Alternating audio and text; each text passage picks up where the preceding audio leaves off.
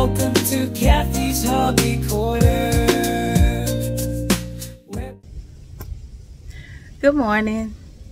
I am out messing around with um, some of the plants. The bell peppers that I left out here, I'll have to give you all an update on the ones that we transferred inside, and they're doing okay. Um, matter of fact, I think I, I harvested something off inside the house uh, for one of our breakfasts. But um, I'm also going to be messing around out here in the garden doing a little cleanup. And I did not realize I think I showed y'all um, we had some turnips coming back. The silky sweet white ones I did not realize but they were coming up. So we're going to check on those today uh, as well as um, like I said finishing clearing some areas so that we can see about getting our spinach in the ground uh, and a few other crops, cold weather crops that I'd like to um, get put in the ground today. All right, so y'all stick around.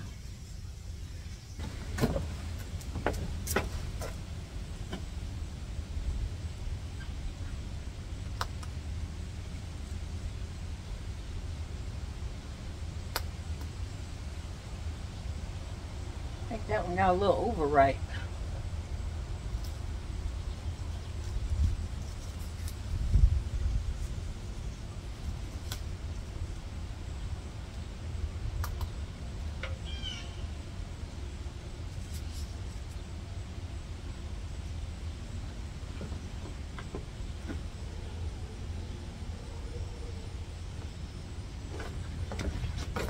So we've got these. So we'll be taking these in and um, y'all see them? Very nice. And we'll be getting things ready.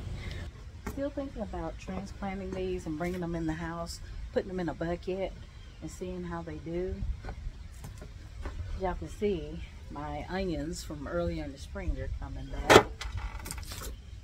I think I am going to transplant this one put this one in a pot and see if we can transfer it inside. Because the weather is dropping into the 30s at this point and I am starting to see a little bit more um, cold weather damage uh, coming in on these. So we'll get this one these two transplant it into pots and see if um, we can bring them indoors and overwinter them. That'll be fun. In the golden hour. Her hands to seeds, her heart takes flight in this backyard haven where dreams